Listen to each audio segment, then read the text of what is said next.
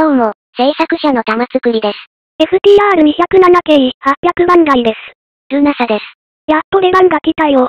何ヶ月待ったことか。本当に悪かったね。あれ、大妖精は？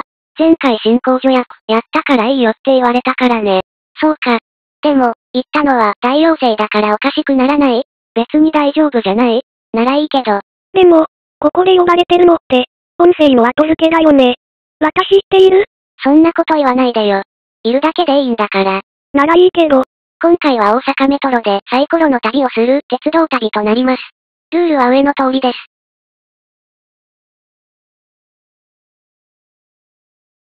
あと、今回はビデオカメラでの収録を始める前なので、すべて静止画での紹介になります。では、どうぞ。どうも。今回の裏方を担当するスランです。今回の鉄道旅の使用上、長々と同じ工程が続くので、ところどころダイジェストにしてお送りします。今回は橋の里からのスタートです。いつも通り天王寺に出ないとね。乗車電話。見た感じ物6だな。物6ってレア物だっけ？いや、たまにあるかな。ただ、物8は本当に希少種だけどね。しかもこれ、後ろ4両、6422系の10連じゃん。トプナン回収ありがとうございます。そんなこと言われても嬉しくないんだけどね。さて、地下鉄に乗り換えようか。そういえば、制限時間って決めてるの？うん、最初の出発時刻から8時間だね。ところで、サイコロ振らないの？そうだね。じゃあ1回目行くか。ほい。緑が4で、オレンジが1だね。つまり、南に1駅だから。安倍のか。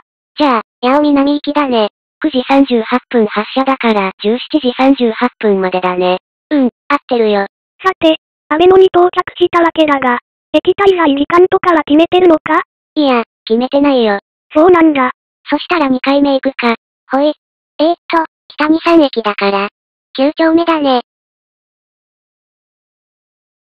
さて、先に3回目やっておくか。ほい。西に6駅だから。玉川でいいのね。じゃあ、千日前線に乗り換えなのか。そうだね。じゃあ移動しようか。ここで少しだけダイジェスト。4回目で南に3駅。5回目で東に5駅の移動となり、玉川から桜川を経由して、今里に到着しました。さて、今里に着いたし、6回目行くか。ほい。北に3駅だから、今里筋線に乗り換えかな。だから、がもう4丁目になるのか。そうだね。次行こうか。中堀、鶴見緑地線との乗り換えがあるけどどうかな。ほい。南に1駅だから市議のか。さっき言ってしまったから待たないとな。しかも10分こうなんだね。ここは本数が少ないから、こういう企画とかだと不便になるよね。だろうな。次行こうか。ほい。